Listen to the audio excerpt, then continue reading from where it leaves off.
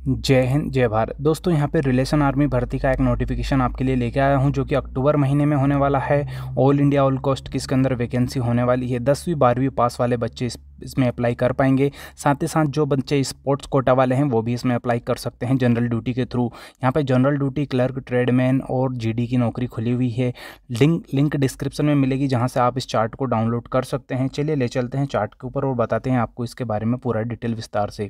दोस्तों, ये यू कोटा जनरल ड्यूटी ट्रेड्समैन और क्लर्क के लिए है, जो कि आपको Lansdowne Garhwal rifle regiment centre में होने वाला है। पच्चीस अक्टूबर से दोस्तों यहाँ पे ये भर्ती स्टार्ट हो जाएगी और जैसा कि आप यहाँ पे देख पा रहे हैं।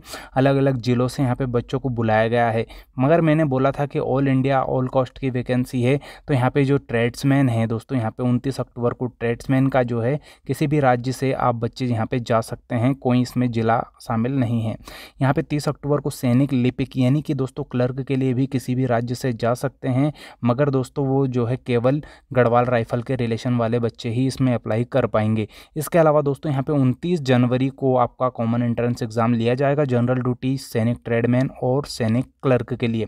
इसके अलावा आपको बता दें कि दोस्तों यहाँ पे भर्ती जो है, ये यू एच कोटा यानी कि रिलेशन वाले बच्चों के लिए है। तो यहाँ पे सैनिक general duty tradesman GD tradesman लिपिक सभी की दोस्तों यहाँ पे एज कट ऑफ़ दी हुई है। वो भी आप इसमें से देख सकते हैं। साथ में आपके पास में दोस्तों यहाँ पे होना चाहिए रिलेशन सर्टिफिकेट और यहाँ पे जो डीएससी और अर्धसैनिक बल वाले जो रिलेशन सर्टिफिकेट है, वो लागू नहीं होंगे।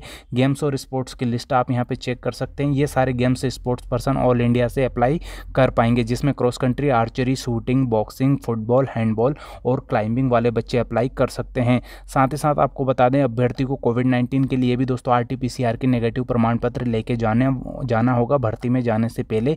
ये सारी डेट सीट यहाँ पर आप देख पा रहे हैं, इस इस डेट को आपको जाना है। ठीक है दोस्तों, मिलते हैं नए अपडेट के साथ, नए वीडियो में। तब तक के लिए जय हिंद, जय भारत, ऑल द बेस्ट, वंदे मातरम।